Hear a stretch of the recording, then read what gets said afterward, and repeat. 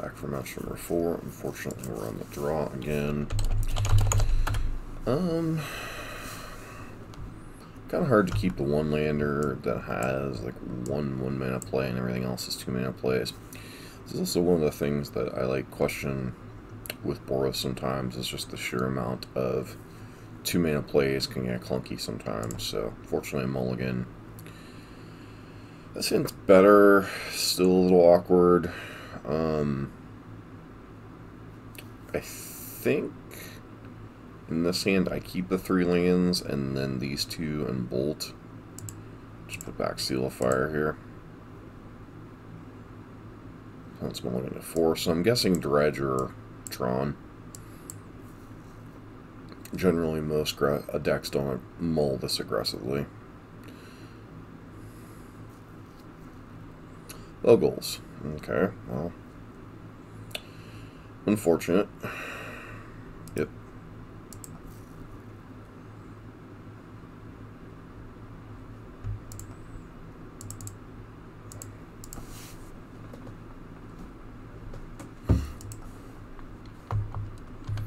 This is one deck that I wish didn't make a comeback.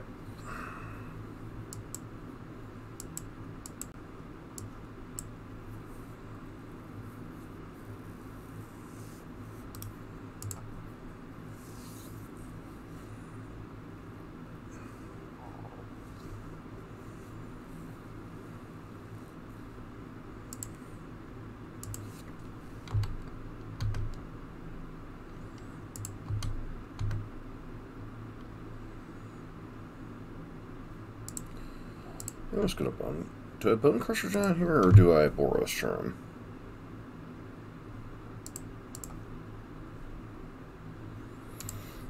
Bone crusher at least opens up other. No, not against the Ethereal Armor. It doesn't.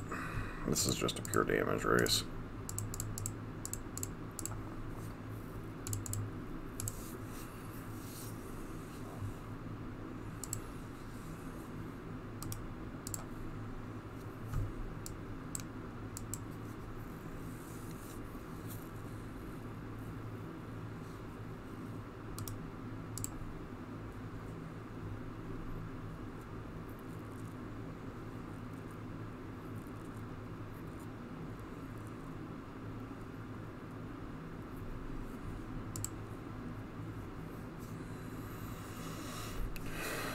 Bolt plus Stomp is 5, 6, 7, 8.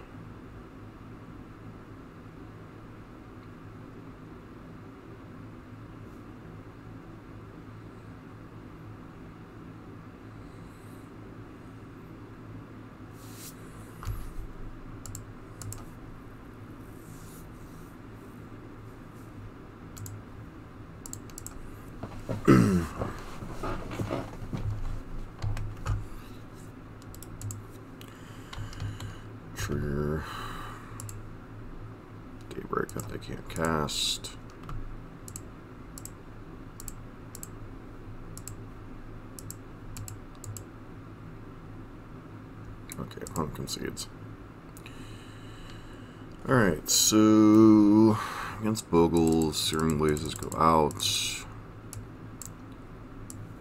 Paths and Wear Tears come in.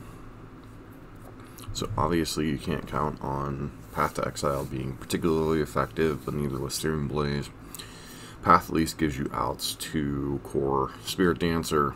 Uh, Wear Tear obviously can mess with a little bit of what the opponent has going on. Uh, beyond that, obviously they are a Leyline of Sanctity deck, so having out your enchantment destruction out is a nice thing. So, see what happens here.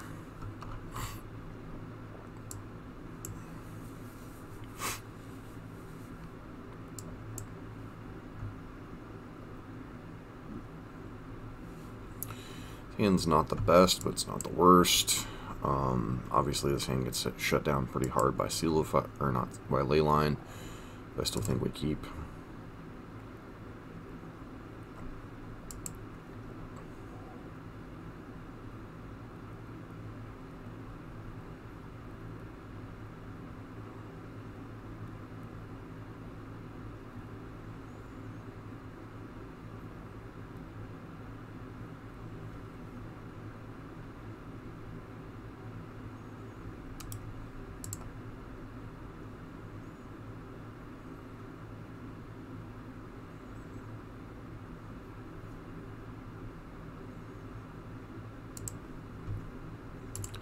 Unfortunately going to be hard to race with this hand.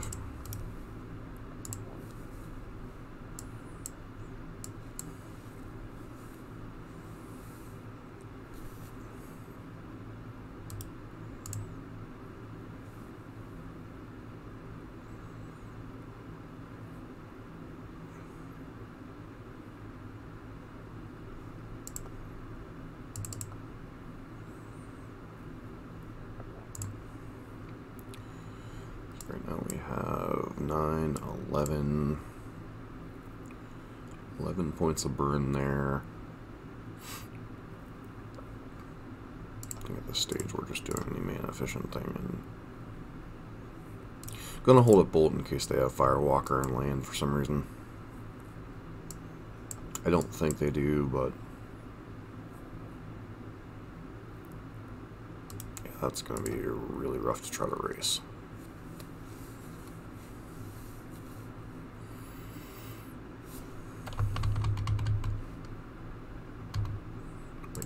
Basically impossible.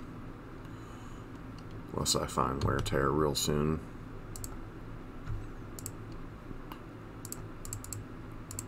Just gonna play Bone Crusher Giant.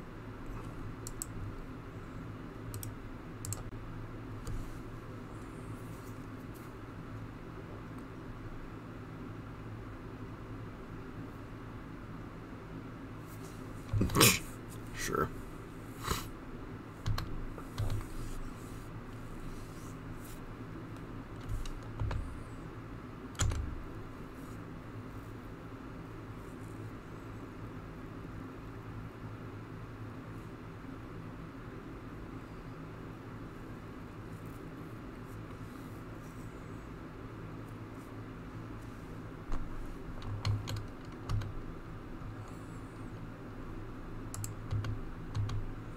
If anything else, we're dead next turn, so I think our best bet is to just play Bone Crusher.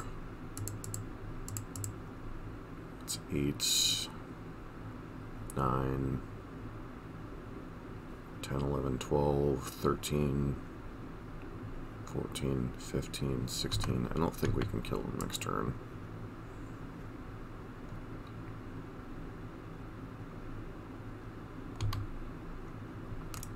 Just dead here anyway.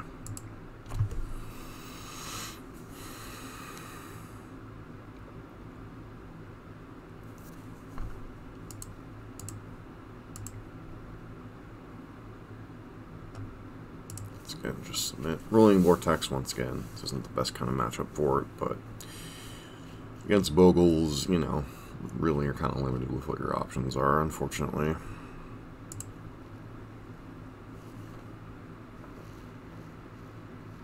Of course, the Bogles player is going to be right back.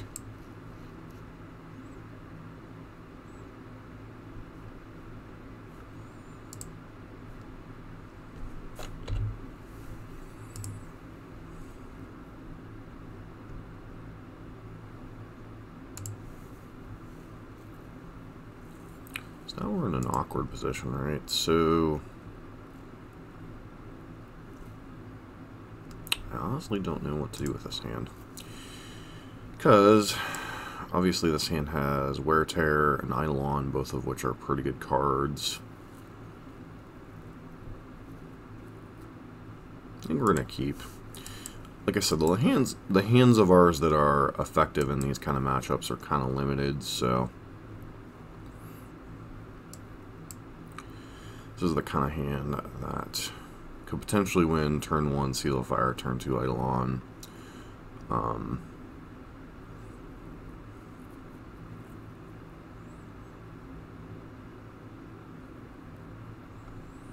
our opponent's keeping a 6 card hand. That's just really bad for us.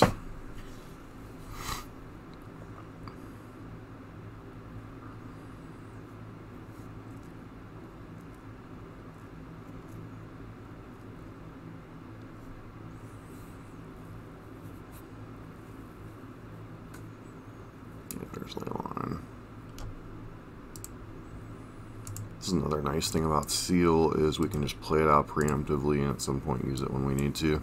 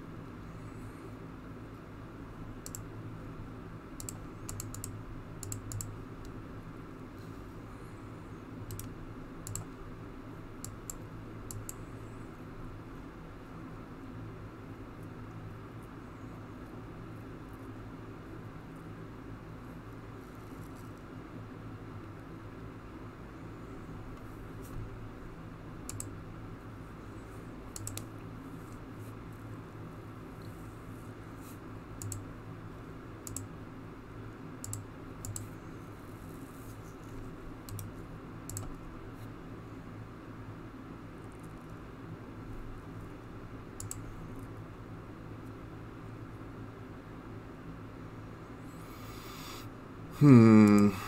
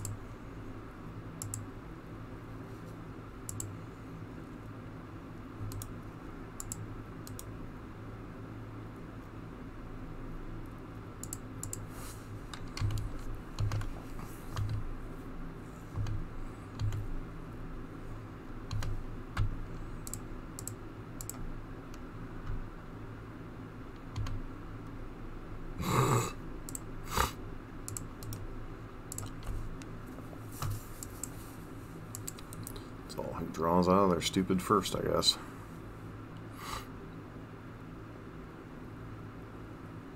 Really?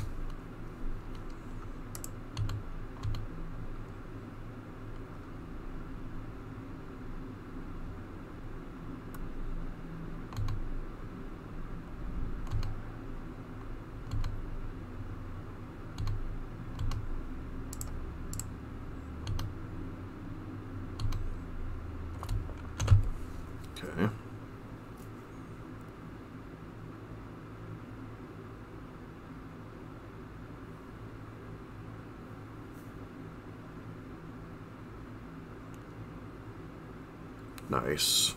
Wow. Back for match number five. We're on the play, which is nice.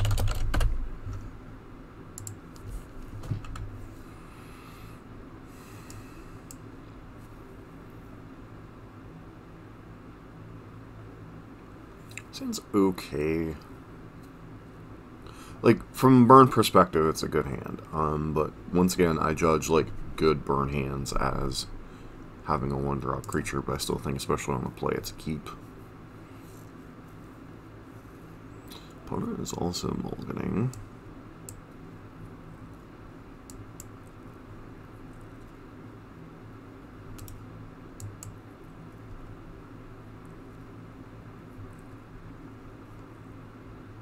Hopefully we're not up against Dredger.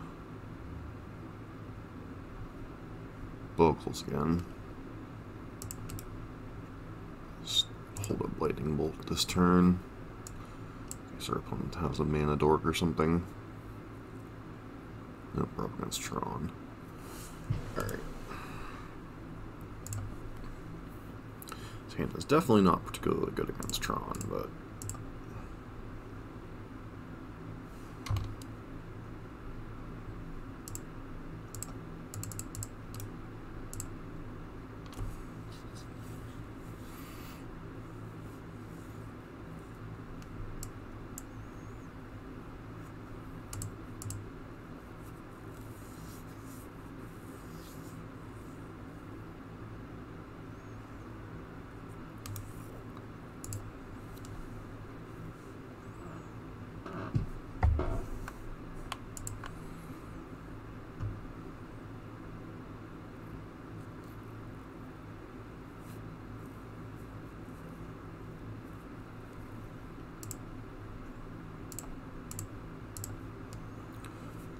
way go. Uh,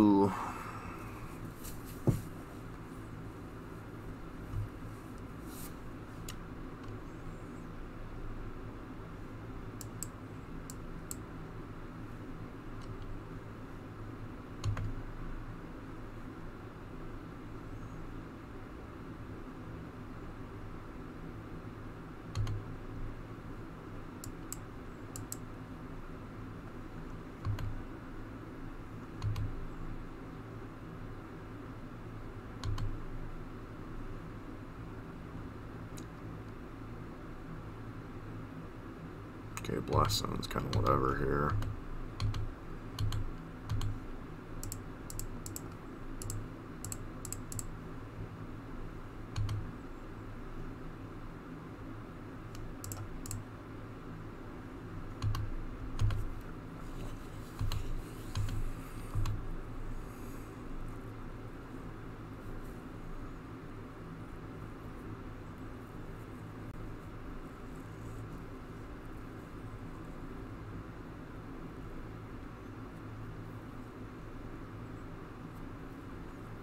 Hopefully it's just like Wurmcoil Engine here.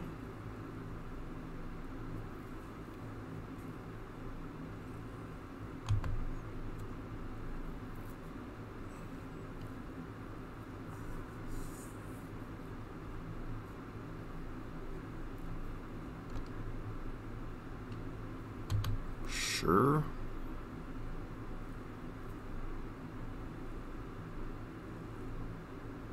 Yeah, that's not particularly relevant anymore. Did its job.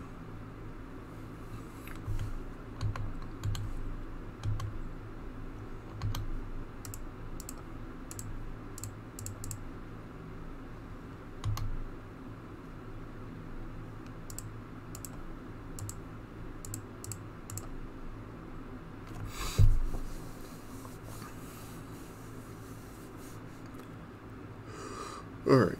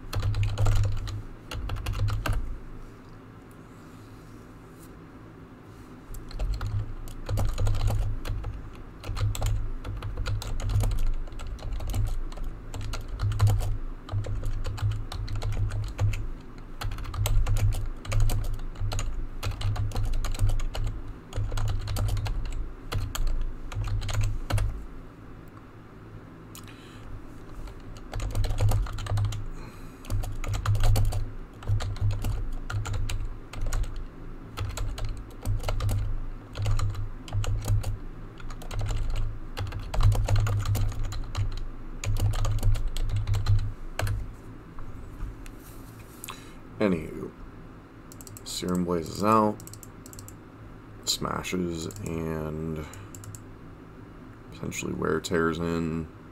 Probably want paths.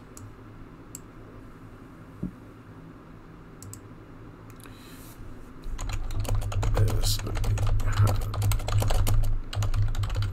Hazard's Department.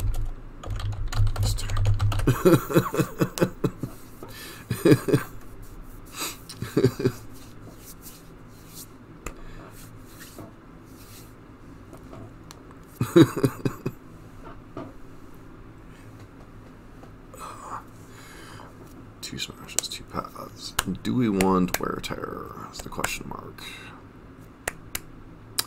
I don't know. I don't know. I think on the draw I'm just going to go with this configuration.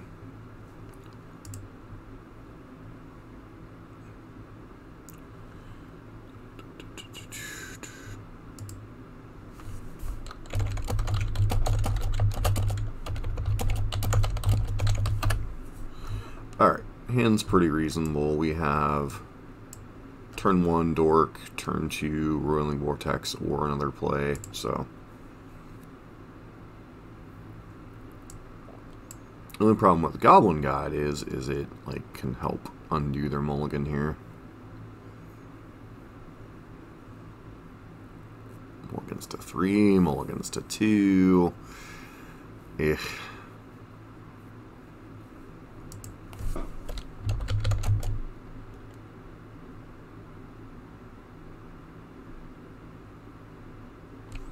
Alright, crappy way to get a win, but four and one's four and one, I guess. Alright, we're back with a quick wrap up with the final couple of matches here, as I kind of already did a wrap on the part of that I did with the stream. So, a couple questions have come up about whether Bone Crusher Giant's better than Rift Bolt, Skewer the Critics, Lightning Helix, um, why is Seal of Fire in the deck, etc.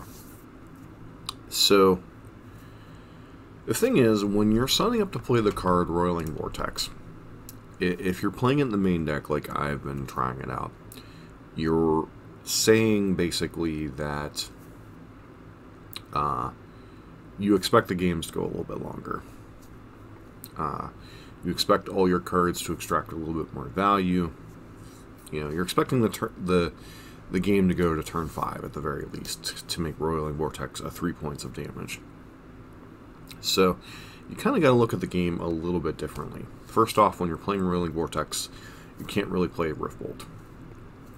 Um, another thing I brought up is the vulnerability Burn has to turn one plays when they're on the draw.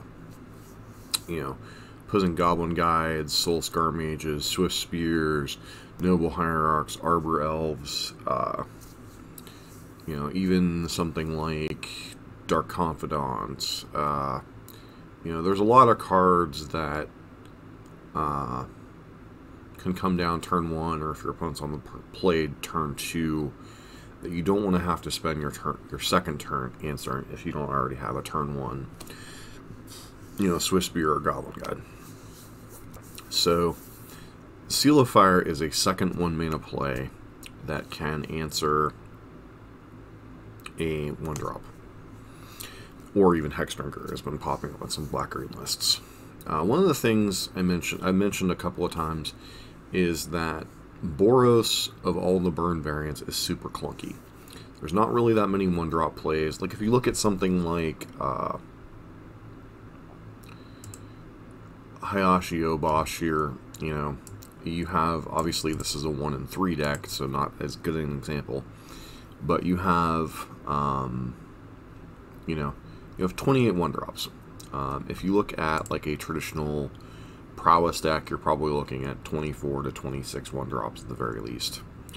Uh, if you look at something like Rakdos Burn, you're probably looking, because in addition to these, you have something like uh, Bump in the Night. So, one of the, th the power of Boros is also its drawback.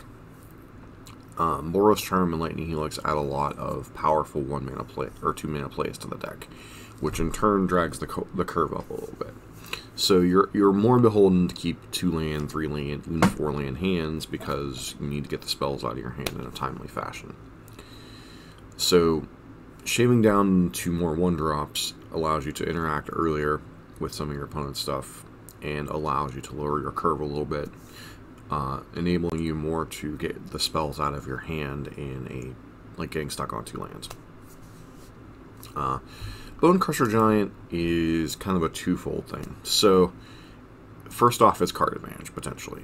You, have a burn spell you can cast and a creature. Um, even if your opponent, you know, just takes a stomp to the face and answers Bone Crusher Giant immediately, it's still taking 4 damage. So on the surface, paying 5 mana for 4 damage isn't great, but in terms of like card, you know, dealing 4 damage is pretty good.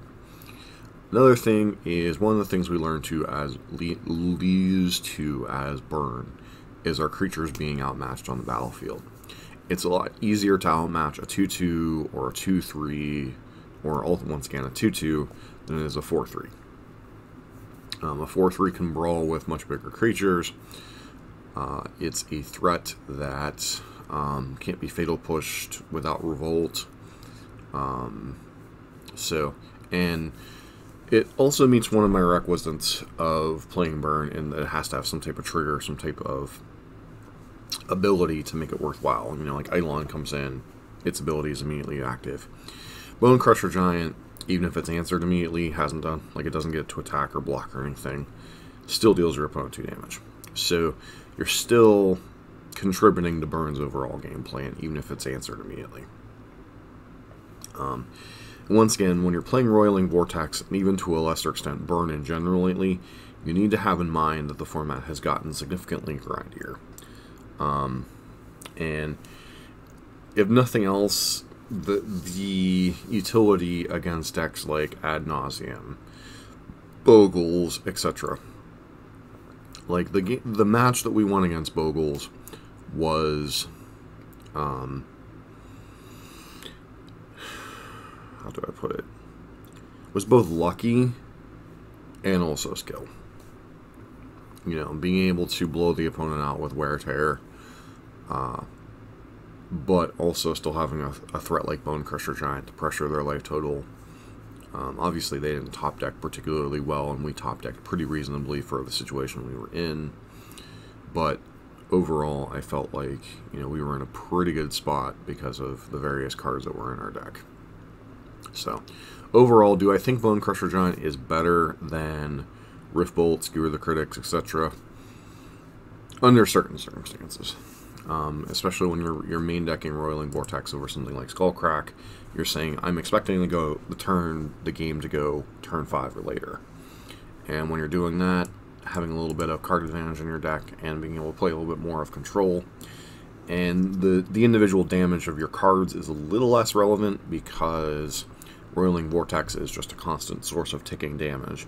So, you know, the fact that your Stomp deals 2 or your Seal of Fire only deals 2 a little less relevant because you have another source in your deck that's a constant stream of damage. So, and once again, Bone Crusher Giant can be both a spell for your Monastery Swiftspears and a body later on in the game. So, rest of the deck, uh, Kor Firewalkers, you know, we run into at least one red deck a, a league.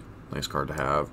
Relic of Progenitus didn't really pop up too much this league, but there's been other mat. Well, I guess it did pop up against Uro piles, but it's a very powerful card to have access to. Um, obviously, would have been more bad if we would have run into Dredge, but...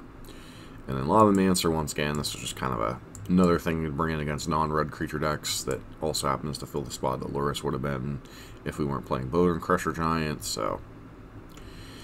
Pretty much my long-winded wrap-up for this league, so another 4-1, 13-2 overall with the Roiling Vortex Burns, so definitely have, have been running well, but also I think some of this build does add some things to things. So this has been John for MTG Nexus.